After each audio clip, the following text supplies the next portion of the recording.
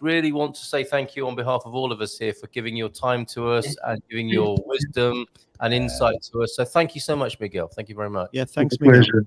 Thank you very much. Obrigado, senor. Is there anything you want to add or any direction you want to point us in? Um, we're we're very uh, passionate amateurs, and you know we, we love your country, and we're keen to you know get involved and do whatever we can to show our you know our willingness to be great foreigners here. What would you suggest to us? This is amazing what you do, and I have to say thank you because uh, I can understand that you really love Portugal and you love to show what we have, which can be considered to be the best. Anyway, uh, you have come to Portugal quite recently, considering its history. And when we speak about wine and when we speak about Christmas and when we speak about what people eat, uh, what people prefer, everything is very different today from one century and 20 years ago because Christmas was really what what was supposed to be. It was family gathering. People didn't have money. People didn't have uh, capacity to buy things. So they will come. They would work the 24th December all day in the agriculture. They will return home. They will collect the, the cabbage in the in the backyard, and that's what they would eat. And it was a very special night because of that. Uh, people who didn't have money, they didn't have presents, they didn't have Santa Claus. They just knew that they were celebrating the birth of baby Jesus, and they were uh, gathering together to do that. So uh, they would be in one room because houses generally have two rooms, the sleeping ones and the kitchen, and they would be all in the kitchen eating from the same bowl, sharing the real sense of sharing. Uh, today, it, it's not well seen, but uh, at that time, uh, and if we can look back and and take the picture of it, people which are tired, which come home from hard work and they they get together sharing their meal and uh, the older ones would say uh, tell stories to the to the younger ones. And it was amazing to to have the view it is amazing to have the view of this celebration because that's what christmas was. And one thing they would do was the cabbage and probably a, a chicken which was killed once a year because people didn't have the money to, to eat more meat than that. And then for the celebration, they would cook the belos with a pumpkin yep. and they would spend the night speaking to one to another, uh, but they would wait for the midnight not just because there was they are celebrating the baby Jesus, but because there was a tradition and it's still kept in some parts of the country. Uh, the the older men of the house at midnight will would take a stick uh, uh, a stick uh, wood from the the firewood burning and it would go outside it would put up and whether the the smoke went north or south, that was the the meaning they would have a good or a bad year in terms of agriculture, and a good or bad year in terms of agriculture meant uh, a good or bad year uh, for everyone in what regards the the capacity of eating, the capacity of provide things they didn't have at their at their houses, and at this period, people generally worked for the others because they didn't have land.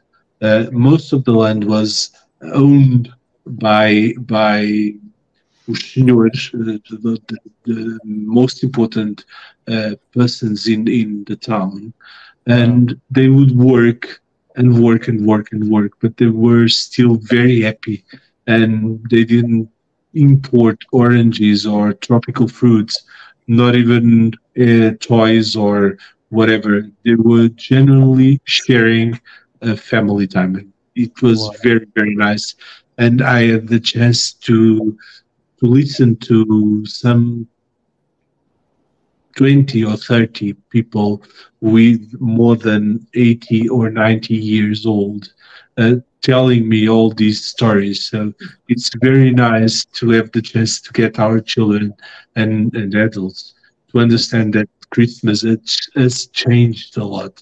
There was no Madeira. Probably just, there was no wine there. And only if someone had the the kind thought of offering the family wine because they generally worked uh, for the the the, the the, the the main house of the town and they would make the wine but it was not for them wow I, I just that want, is so beautiful go on just want to ask miguel right i mean i love the story about the smoke going mm-hmm. south or going north and I, i've heard this and there are some football supporters in Portugal, yeah, that, that they, they get the burning stick, yeah, and they hold it up. And if it goes north, it's Porto, yeah.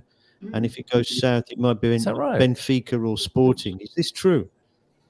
Well, I don't know if it's true, but as as all the legends, if we believe, who knows? Well said. Well which, said, Miguel. Which which way is it blowing this year, buddy? That is so beautiful. If you see Chinese Terry out in the street doing that on Christmas Day, that's what he's doing. Porto or Benfica. Gary. Miguel, the, the, the Bacalhau uh, Christmas, when did that sort of start and how did that come about? Sorry, Gary, didn't understand. The, the Bacalhau at Christmas, the, the salt cod, when did that come into sort of uh, Christmas um, sort of Oh, okay. Bacalhau being the, the Christmas lunch. Oh, I don't know. I, I don't know exactly the date, but it was towards mid 20th mm, mm, century, I would say, because uh, all fi- the the whole fish that people could eat here was the sardines. They would buy for little price in the market, once a week. They would buy five sardines if they were lucky, and they would keep it. They wouldn't have fridge, so they would keep it uh, close to the the firewood because the the smoke helped to conserve the sardines, and then they would eat from there the entire week. That's incredible. With sardines, not not bacalhau. Yeah. So, Miguel, are you are you a historian? Is this is this a, a professional or, or um, a, a, personal hobby uh, interest you have in, in the history of Portugal? I really love East, uh, our ancestors' history. I don't I don't specifically love history as as history uh, yeah. of humanity, but I really think that for us to know who we are, we need to know from where we come Oh, well said. Yeah. Well said. Absolutely. And and can I ask you? I don't I don't mean to put you on the spot, and, and, and you're very welcome to you know to to answer exactly as you feel is is appropriate. But you know, this is an, next year will be a very important year for Portugal with the 50th anniversary of the Carnation Revolution. Would you would you care to be our friendly historian or reference point in terms of that amazing cultural phenomenon for Portugal. Can we can we ask you questions about that as well? Will you come back and talk to us about that? Well, I, as uh, common knowledge, because I'm not, uh, I'm, I'm not, I, I don't study history. I I like to understand uh, what former generations went through, and right. I was really related to folklore for 20 years and what I worked on was ethnography. So I oh. tried to understand what people went through, what they ate, what they dressed, uh, what they ate, what they used to do. And if you are absolutely right when you say that the 24th of April was in 74 was uh, an important day because it changed everything. It yes. changed the way people thought. It yeah. opened doors that we didn't know that they were there. Right, and it's so interesting, isn't it? 50 years later. I mean, this is the most recent major revolution in Europe, I would say.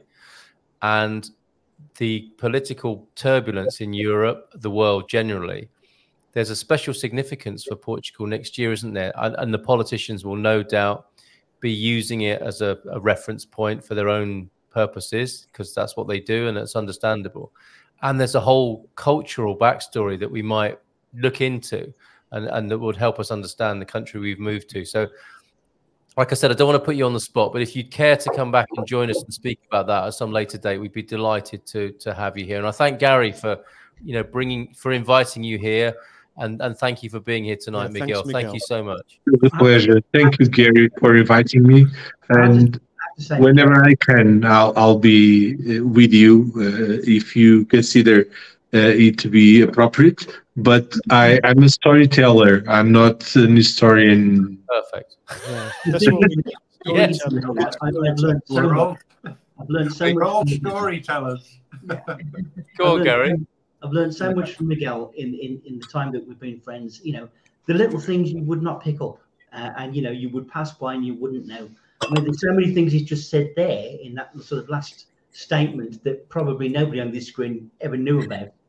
It's so useful to know those things. If you live in a country and you want to keep that tradition alive which which yeah. i want to do i want to be part of that culture i want to hold on to that bit of history and if i can add to it. So thank you very much miguel. You, you've yeah. done a great job absolutely thank you you, you are all very generous thank you thank you so much uh, feel free to to go and enjoy the rest of your evening in in, in the way that you know how because um, we're going we're going to continue to go around the room. But thank you, Miguel. You're welcome to stay. Thank you. I understand if you want to check out. Bye bye. It's such a pleasure to be with you, all of you, and I wish you Merry Christmas and a very special 24th.